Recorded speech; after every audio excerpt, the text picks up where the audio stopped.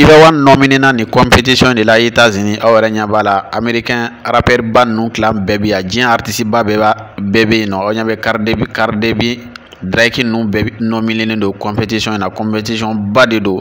donc an bɛ se k'a fɔ nin y'a siɲɛ fɔlɔ ye Iba One ka nɔmini nin competition in na États-Unis jamana kan competition internationale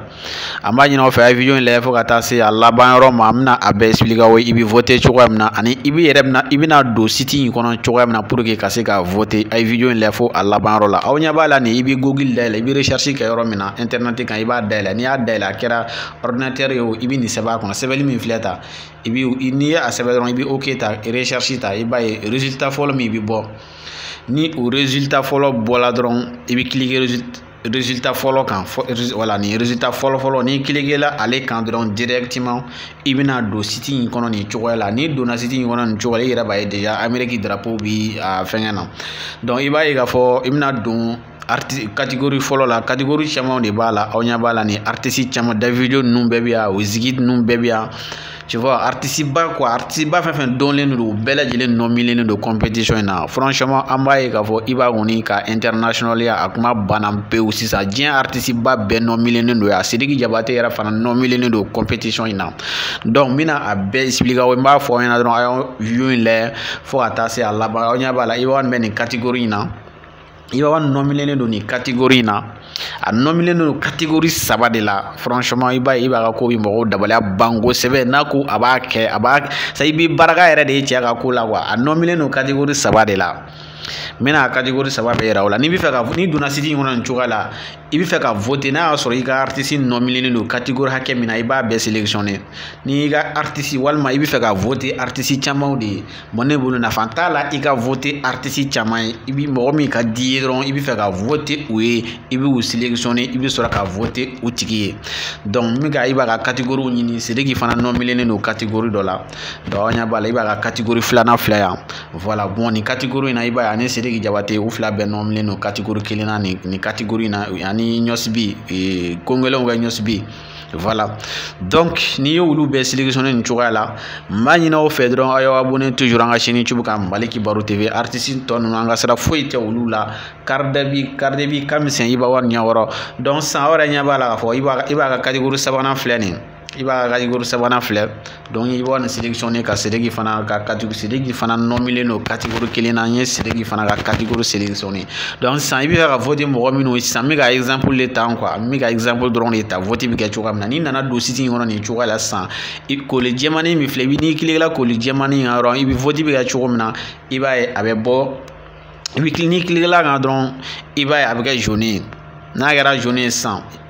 donc i ka artiste nɔmilen don catégorie hakɛ min na i b'a bɛɛ sélectionné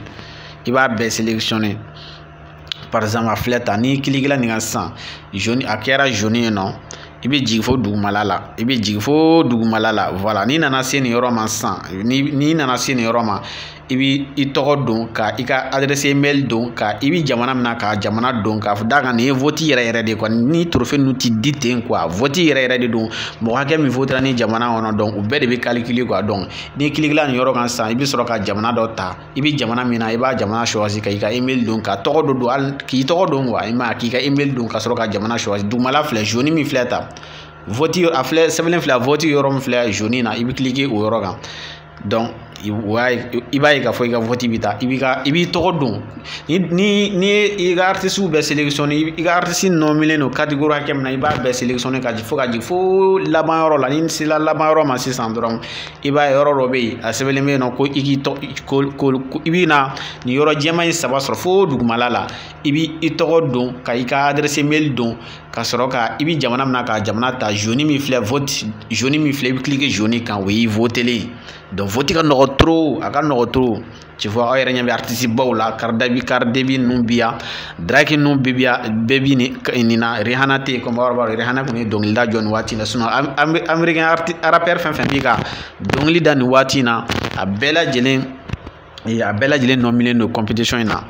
tu vois aw ɲɛ b'a la artiste ba bɛɛ bi yan wiziki ninnu bɛɛ lajɛlen nɔmilen don competition in na quoi a k'a ye k'a fɔ ko iwa nin taara ye ninnu cɛra nin bɛɛ sababu bɛɛ bɔra nin bɛɛ sababuba bɔra a ye record min kɛ ni seereya jamana kan voilà donc sisan y'a fɔ an ɲɛna cogo min na n'i ye artiste n'i bɛ fɛ ka voter mɔgɔ min ye sisan n'i y'a bɛɛ sélectionner n'i y'a a ka catégorie bɛɛ sélectionner walima i bɛ fɛ ka voter ko maliyɛn aritisi fila dɔrɔn de b'a kɔnɔ i b'a ni siriki jabate n'i fɛ ka voti u fila ye komi siriki fana bɛ kategori kelen i b'a i b'a saba sabala dɔn i bɛ se ka i b'a ni siriki bɛ selekisɔn i bɛ se ka voti u saba bɛɛ ye dɔnku n'i jigira n'i y'u selekisɔn sisan n'i jigira dugumala la sisan dɔnku i bɛna zoni in ta ka voti voti voti i bɛna n'i ye zoni in ta n'a y'a sɔrɔ komi ne ma n bɛ ka exemple dɔrɔn de di quoi ne votera ka ban yɛrɛ i m'a ye min ka exemple dɔrɔn de di tu vois donc i b'a ye. i bɛ kile i n'i kilegela ale kan dɔrɔn i bɛ se k'i ka vɔti i b'a ye i ka vɔti bɛ taa wa donc viyo n y'a fɔ an ye cogo min na dɔrɔn aw b'a kɛ ten aw bɛ taa aw bɛ internet a kɛra ordinateur ye o a kɛra telefɔni ye o